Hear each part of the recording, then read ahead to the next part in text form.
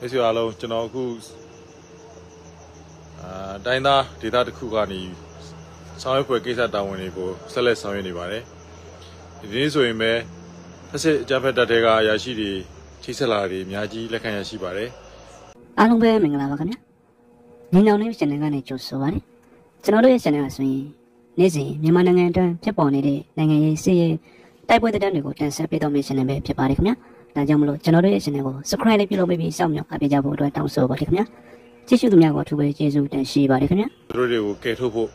ခေါ်ထုတ်ဖို့ကျွန်တော်စူးစမ်းစီစဉ်နေပါတယ်အမြောက်အများအာပမာဏအထိမဟုတ်သေးပေမဲ့တဖြည်းဖြည်းချင်းသူတို့ချင်းချိတ်ဆက်ပြီးတော့ခွင့်သာကိုက်အမိုက်ကိုပြင်ဖို့သူတို့စူးစမ်းလာကြတာတွေ့ရှိရပါတယ်အဲ့တော့လူတို့ရှင်းလေးနှုတ်ဆက်ပြရစီ မနေ့တုန်းက diplomat စာဆောင်ကနေရေးသားတဲ့မြန်မာပိုင်းဆိုင်ရာမြန်မာပြည်နဲ့ပတ်သက်တဲ့စစ်သူတီတီတွေရဲ့အကဲဖြတ်ချက်ဆောင်းပါးဟာလက်ရှိမြန်မာနိုင်ငံရဲ့တော်လှန်ရေးအရွေးအတွက်ကိုကြီးမားတဲ့စိတ်ခွန်အားတွေနိုင်ငံတကာယူဆတွေပေါ်ပေါက်လာကြရှိပါတယ်လူတရှင်းလေးပြောရရင်တရုတ်နဲ့ထိုင်းနိုင်ငံအစိုးရတွေဟာလက်ရှိမင်းအောင်လှိုင်ရဲ့အကြမ်းဖက်အာဏာသိမ်းတဲ့စစ်အုပ်စုအပေါ်မှာသူတို့လွန်ခဲ့တဲ့3နှစ်တာတော်တွင်ထားရှိခဲ့တဲ့သဘောထားတွေကိုလုံးဝ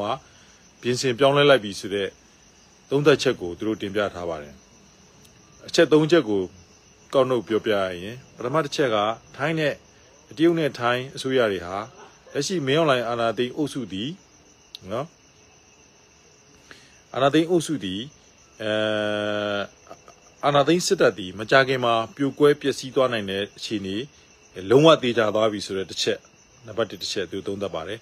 ဒုတိယနံပါတ်2ကမင်းအောင်လှိုင်ရဲ့ဒီလက်ရှိ အခြေအနေဆောင်ရွက်မှုတွေဟာဒေတာတွင်းမတည်မငြိမ်မှုကိုဖြစ်စေတဲ့အဓိကတရားခံဖြစ်တယ်လို့သူတို့သုံးသပ်သွားပါပြီနံပါတ်3ချက်ကတော့တရုတ်နဲ့ထိုင်းအပါအဝင်တခြားသောနိုင်ငံတကာကနိုင်ငံသားတွေကိုပြစ်မှတ်ထားတဲ့ online လိမ်လည်တဲ့လောင်ကစားလုပ်ငန်းကြီးတွေရဲ့ပြင်မရင်းမြစ်တရားခံဟာမင်းအွန်လိုင်းအုပ်စုဖြစ်တယ်ဆိုပြီးသူတို့သတ်မှတ်သွားပါပြီဒီတော့သိကြတယ်ယခုလို development channel မှာတော့မှဒီလိုတရားဝင် သုံးသက်ချက်တွေတင်ပြရေးသားလာပြီဆိုတာဆိုတော့တရုတ်နဲ့ထိုင်းအစိုးရတွေနဲ့တန်တမန်ကြီးကဆက်နွယ်နေတဲ့စီးရေးပညာရှင်တွေကဲဖြတ်ချက်ဖြစ်တဲ့ကြောင့်မကြခင်ဒီနေ့ဆိုရင်လောက်လာရှိုးရောက်နေတယ်ဆိုတော့မင်းအွန်လိုင်းဟာသူ့ရဲ့ပုံကန်လူဆဲဆဲအောက်ခြေတက်မှုတွေကိုဖြောင်းဖျဖို့နားချဖို့အသေးအံစီးယုံဖို့သူစူးစမ်းနေရတဲ့အနေအထားကိုရောက်သွားပြီဖြစ်တယ်။အတရုတ်နဲ့ထိုင်းရဲ့အကဲဖြတ်ချက်မှတ်ချက်တွေအပေါ်မှာလည်းတပ်တွင်းမှာရှိတဲ့ထိပ်သီးစစ်ဗိုလ်ချုပ်တွေထဲမှာ အနာဂတ်လုံးဝပျောက်ဆုံးသွားပြီမင်းအွန်လိုင်းအောက်မှာဆက်နေခြင်းအပြင်သူတို့ပါဒီတီရင်းနဲ့ငရဲရင်းနဲ့ဆွဲချခံရတော့မယ်ဆိုတော့သိရှိပြီးတော့အမြန်ဆုံးပြင်ဆင်ဆုံးဖြတ်ဖို့ပြင်ဆင်နေကြပြီလို့ကျွန်တော်တို့သိရှိရပါတယ်။အဲ့တော့ကျွန်တော်တို့အနာဂတ်အတွက်ကျွန်တော်တို့တိုင်းပြည်ရဲ့ပြည်တော်စုကြီးရဲ့ငြိမ်းချမ်းသောအနာဂတ်တွေအတွက်အောင်မြင်မှုပန်းနဲ့ရဆွဲဟာတနေ့တစ်နေ့လွန်စွာနီးကပ်လာပြီကျင်းသိမုတ်ချမကြခင်အချိန်ပိုင်းတော့တင်မှာ